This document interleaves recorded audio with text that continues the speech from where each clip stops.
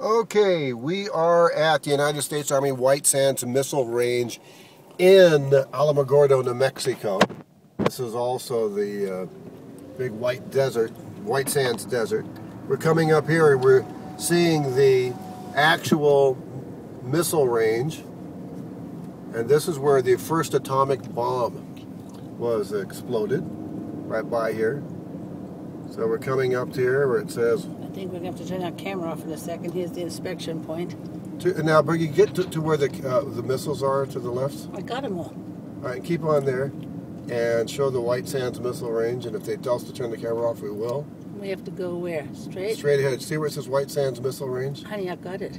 Beautiful. Keep keep the camera on till we get to where they tell us to turn it off. I'm turning it off now. I'm not going to mess with these guys. Okay. Bye bye. Bye-bye.